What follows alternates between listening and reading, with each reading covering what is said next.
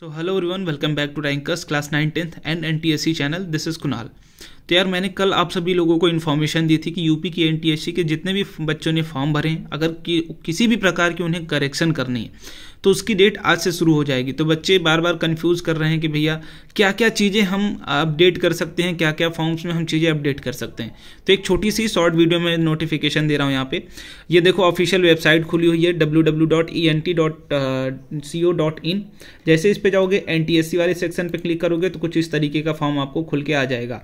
देखो registration close again आज देखो यहाँ पे step five that is correction open हो रहा है। करेक्शन पे क्लिक करेंगे तो ये इस तरीके से कुछ खुल के आएगा। अब क्या क्या चीज़ें आप अपडेट कर सकते हो, फॉर्म में अपडेट कर सकते हो, फ़ोटो में अपडेट कर सकते हो, साइन में अपडेट कर सकते हो। अगर स्कूल सर्टिफिकेट आपने, जितने बच्चों ने क्लास नाइन्थ का सर्टिफिकेट अगर गलत अपलोड किया, जैसे स्कूल सर्टिफिकेट की जगह क्लास नाइन्थ का तो आप अपडेट कर लें, कास्ट सर्टिफिकेट अपडेट कर सकते हो।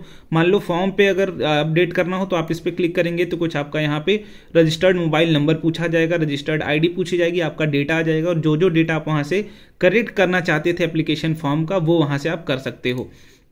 फिर इसके बाद फ़ोटो और साइन, अगर ये सारे सर्टिफिकेट आपको अगर अपडेट करने हैं तो इस पर जैसे ही क्लिक करेंगे आप, ये सारी चीज़ें खुल के आ जाएँगे। Registered ID registered mobile number आप इसमें जैसे ही फिल करेंगे, आपके डेटा खुल के आ जाएगा। आपको फिर से री अपलोड करने का ऑप्शन मिल जाएगा। तो आई होप आप लोगों के डाउट्स क्लियर हो गएँगे कि आप क्या क्या अपलोड कर सकते हो और कैसे कैसे अपलोड कर सकते हो। तो कमेंट करके अगर बताना कि आपकी क्या क्या मिस्टेक्स थी और क्या आपने सही कर लिया।